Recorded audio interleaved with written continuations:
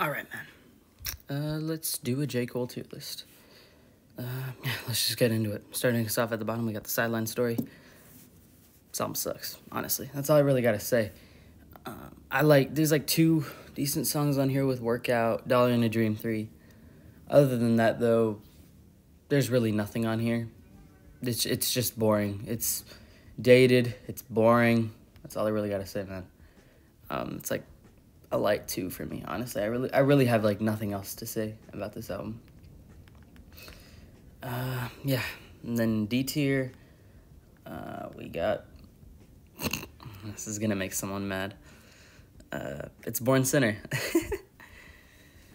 this album sucks. Uh, it doesn't suck. It, it's just mid, man. It's just mid. It's mid, mid, mid Cole. I'm kidding, but um, yeah. So J Cole, like he, he the, oh my god, dude, he butchers the art of storytelling part one beat yeah, he, he butchers it hard for some reason and puts this like really nasty bass on it for some reason that like no one asked for. Um, so that that's that's already a big point knocked off of here, for me at least. And then everything else, like I, I like the song Forbidden Fruit. That's about all I remember from here. Other than that, though, I don't remember much. It's forgettable. Um, yeah, that's all I really gotta say. Like he he literally butchers that beat for no reason. Like does it no justice at all to me yeah, I got nothing really more to say. Uh, yeah, and it also has this. Uh, the opener to this album actually has one of his worst bars ever. That being the F slur bars that don't need to exist. Like seriously, why do those happen? Literally no reason for that to happen. Um, yeah, this album kind of sucks. It, does kind of suck. I'll be honest. Um, it's a light to decent four for me. Yeah. That's gonna make someone mad.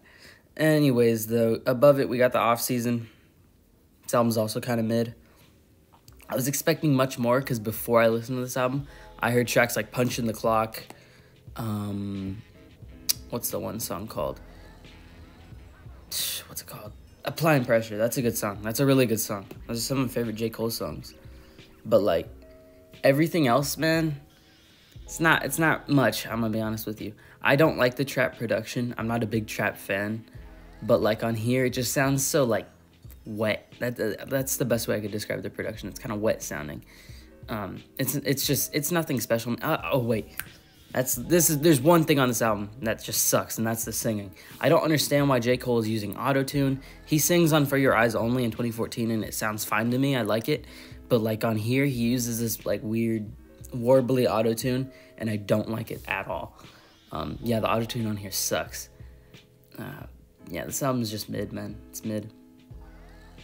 It's a decent five. It's got quality, and the, some of the production is really good, but it's just like it's mid, man. That's all I really gotta say. Staying in D tier, we got KOD. This is also kind of mid. It's it's a decent album. I'll give it that. Um, I like the production on here, kind of. I, I think that this album has some good highlights on it, like Kevin's Heart, 1985. That song's really good. I also really like, uh, I think it's called ATM. The song where he goes, it up. I like that song quite a bit. I don't, I don't really have much more to say. It all kind of blends together for me, if I'm going to be completely honest. It's a decent album. I think I just put it in D tier because it, it just isn't like on par with the albums that I'm going to throw in C tier. Uh, KOD's like a light to decent six it's it's got quality on it, but it's nothing special. Um, and then going into C tier, we got the come up. Pretty sure that's what. Yeah, this one's the come up. Uh, it's long. Yippee. That's all I really gotta say. I feel like J. Cole's mixtapes all sound the same. After I listened to the warm up, which was the first one I listened to for some reason, um, they all just kind of sound the same after that. Uh, they all kind of blend together. That's all I really gotta say come up doesn't have any significant highlights, doesn't have any significant like oh wow moments, but it's just good. It's decent. It's a light seven. Um, yeah. Above it though, Friday Night Lights. Um, this one has a big highlight with him rapping over "Didn't You Know." That's cool. But other than that, I don't really have much more to say. It sounds like every other J. Cole mixtape. And then the warm up at the top, because I listened to this one first, so I wasn't worn out by it yet. Um, it's a good. I actually might throw it in B tier. I actually like this one quite a bit. I think that I think it's just consistent. There's certain beats on here that like are familiar to me where I'm like, oh, I, I remember that. That sounds familiar. I don't know the names of the beats, but there are some beats on here that I recognize, and then I was like, oh, cool. That's cool that he's rapping over those. But other than that, it's it's really nothing special. Or it's it's it's good. It's a good J Cole album. I'll say that. Uh, yeah, warm up is a strong seven to a light eight. It could be a light eight for me, but I don't know. Um, and if I didn't rate Friday Night Lights, it's a decent seven. My bad. Okay, now we're talking about the albums that I actually really like. Um, bottom of S tier, 2014. This album's really good, man. I love the production on here. I think it's a super well-rounded, super clean album. It's super fun. Um, it's just it sounds like nostalgic, even though like I didn't even listen to this album, and I'm not even a huge J Cole fan. If you couldn't tell, um, I just I, I feel like this album. It sounds like J Cole is taking a trip back to his childhood, and I kind of like that. Um, yeah, that's all I gotta say, man. It's really special, honestly. Uh, yeah, it's got a lot of good songs on here, like "Love Yours." What's that one song? Uh, Firing Squad. That song's really good. O3 Adolescence" is fantastic. It's got some really good songs on here. I'll say that. It's super consistent. Uh, yeah, it's a decent nine if I'm gonna be completely honest. I really like this album. Love it though. We got my favorite J Cole project. That's For Your Eyes Only. Um, I listened to this album at like the right time in the right place.